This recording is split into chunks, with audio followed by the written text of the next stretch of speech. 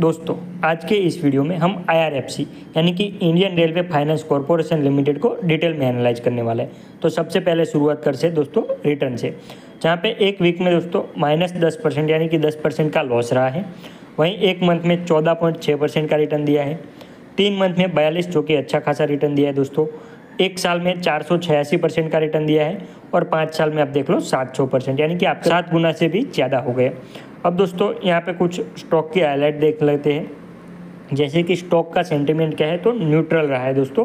Market pricing क्या है दोस्तों? ओवर वैल्यूड है। ओवर वैल्यूड क्यों है दोस्तों? ये हम आपको आगे बताने वाले हैं। अब इनका स्वॉट एनालिसिस कर लेते हैं, यानी कि स्ट्रेंथ क्या है वीकनेस क्या है अपॉर्चुनिटी और थ्रेट ये सब हम दोस्तों देख लेते हैं। तो दोस्तों, यहाँ पे देखते हैं स्ट्रेंथ छः है। Three year return of six one six यानी कि छः सौ सोलह परसेंट का रिटर्न दिया है। तीन साल में जो कि दोस्तों बहुत ही अच्छा रिटर्न है। Revenue has grown at a rate of उन्नीस पॉइंट बारह percent over the past year तो पिछले साल के हिसाब से देखें तो इस साल यहाँ पे उन्नीस पॉइंट बारह परसेंट जो कि लास्ट साल का रेवेन्यू रहा है दोस्तों। Net profit has grown impressively over the last year by one point eighty percent over the past year तो लास्ट ईयर का दोस्तों एक पॉइंट अठारह परसेंट इनका नेट प्रॉफिट बढ़ा है।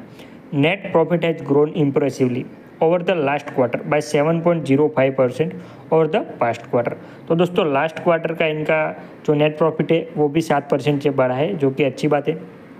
इम्प्रेसिव आर ऑफ़ चौदह पॉइंट छियासठ है। Impressive R O C of पाँच पॉइंट बत्तीस जो कि अच्छी खासी बात है।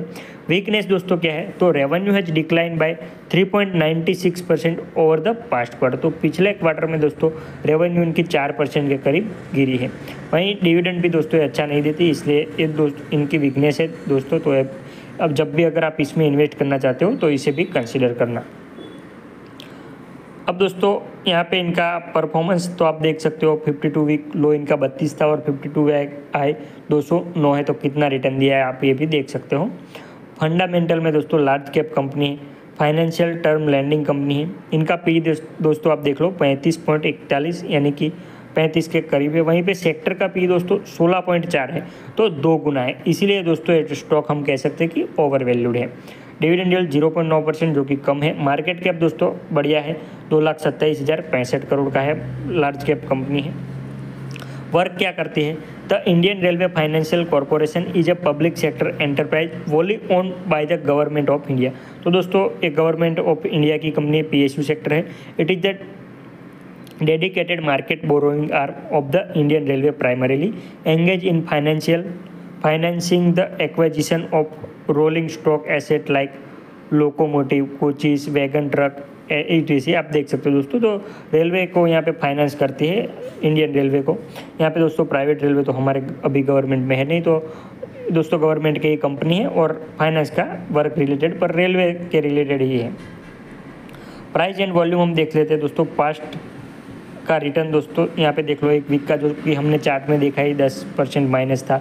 एक मंथ में चौदह पॉइंट छः परसेंट, तीन मंथ में बयालीस परसेंट, एक साल में चार सौ छियासी परसेंट और पाँच साल में सात सौ परसेंट का रिटर्न रहा है। अब दोस्तों फाइनेंशियल में इनका रेवेन्यू देख लेते हैं। 2020 से 2024 तक परफॉर्मेंस भी आप देख सकते हो, यहाँ पे चार्ट भी कितना अच्छा है। 2020 में तेरह हज़ार चार सौ इक्कीस था, वहीं 2021 में पंद्रह हज़ार सात सौ सत्तर करोड़। ये दोस्तों आप करोड़ में इसे करोड़ में ही कंसिडर करना। 2022 में बीस हज़ार तीन सौ एक करोड़, फिर 2023 में तेईस तेईस हज़ार नौ सौ बत्तीस करोड़ और 2024 में छब्बीस हज़ार छः सौ पचपन करोड़। इनकी रेवेन्यू रही, दोस्तों रेवेन्यू अच्छी खासी है ग्रो ग्रो आप कर सकते हैं कंपनी भी देख सकते हो। नेट प्रॉफिट 2020 में तीन करोड़ था, वहीं बढ़ के 2021 में चार हज़ार चार सौ सोलह करोड़ हुआ। 2022 में छः हज़ार नवासी करोड़ 2023 में छः हज़ार तीन सौ सैंतीस करोड़ और 2024 में छः हज़ार चार सौ बारह करोड़। तो दोस्तों, तीन साल में ज़्यादा बड़ा नहीं, पर अच्छी खासी फिर भी ग्रोथ तो हो रही प्रॉफिट कंपनी अच्छी खासी कर रही है। शेयर होल्डिंग का पैटर्न देख लेते हैं दोस्तों। तो प्रमोटर के पास छियासी पॉइंट छत्तीस परसेंट, यानी कि नब्बे परसेंट के करीब आप मान सकते हो कि प्रमोटर के पास है, जो कि अच्छी बात है। एफआईआई के पास एक पॉइंट पंद्रह परसेंट बहुत कम है। डोमेस्टिक इंस्टीट्यूशन के पास भी एक पॉइंट पंद्रह परसेंट, जो कि बहुत ही कम है। रिटेल के पास ग्यारह पॉइंट चौंतीस परसेंट है। अब दोस्तों इनका कुछ कीज रेशियो देख लेते हैं। जैसे कि आर आप देख सकते हो 2019 में 11.7 परसेंट था 2020 में 11.5 परसेंट 2021 में 13.3 परसेंट 2022 में 15.8 परसेंट और 2023 में थोड़ा सा कम हुआ 14.7 परसेंट। आर भी आप देख लो 2019-20 में 6 परसेंट था, फिर 21-22 और 23 में 5 परसेंट रहा। आर आप देख सकते हो, हर साल एक परसेंट एक परसेंट के करीबी है। ई e आप देख लो दोस्तों तो दो पॉइंट चार दो हज़ार उन्नीस में से अभी दो पॉइंट सात, तीन पॉइंट चार, दो हज़ार बाईस में चार पॉइंट सात और दो हज़ार तेईस में चार पॉइंट नौ रहा है दोस्तों।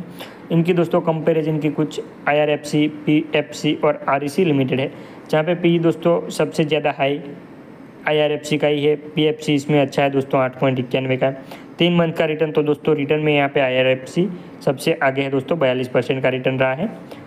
थ्री ईयर सेल्स ग्रोथ देखें तो वहाँ पे भी दोस्तों 19 परसेंट का है, जो कि सबसे आगे रहा है। थ्री ईयर प्रॉफिट ग्रोथ देखें तो वहाँ पे दोस्तों प्रॉफिट ग्रोथ में थोड़ा सा कम है पीएफसी और आरईसी लिमिटेड दोनों 19 परसेंट के करीब है। ईयर आर आप देखें तो वहाँ पे भी दोस्तों कम ही है। सत्ताईस परसेंट पी का है, आर का बीस परसेंट और सबसे लास्ट में आई का है। दोस्तों, अगर आप भी चाहते हो कि आपको भी स्टॉक में इन्वेस्ट करना है तो पहले डिटेल में एनालाइज करके ही इन्वेस्ट करें। अगर आपको दोस्तों स्टॉक मार्केट में इन्वेस्ट करना है और डिमेट अकाउंट नहीं है तो हम डिस्क्रिप्शन में लिंक दे देंगे, वहाँ जाकर रजिस्टर करो और फ्री में अपना डिमेट अकाउंट ओपन करके आप भी इन्वेस्टिंग अपनी स्टार्ट कर सकते हो। ठीक है दोस्तों, अगर आपको चाहिए कि किसी पर्टिकुलर स्टॉक में आपको डिटेल में एनालाइज करवाना है किसी स्टॉक का तो आप हमें कॉमेंट कर सकते हो। हम उस स्टॉक के बारे में दोस्तों डिटेल में एनालाइज करेंगे। ठीक है दोस्तों, मिलते हैं अगले वीडियो में।